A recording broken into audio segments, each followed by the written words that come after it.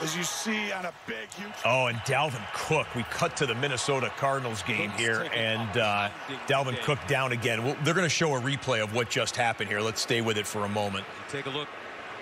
Only 24 yards in the second half after 96 in the first. J.J. Watt. Big Rashard Lawrence, Corey Peters. Big Zach Allen. O'Neal and, and Zeke. A lot of emotion for a one-yard run. Well, the Cowboys, you know, that first quarter, again, they picked up.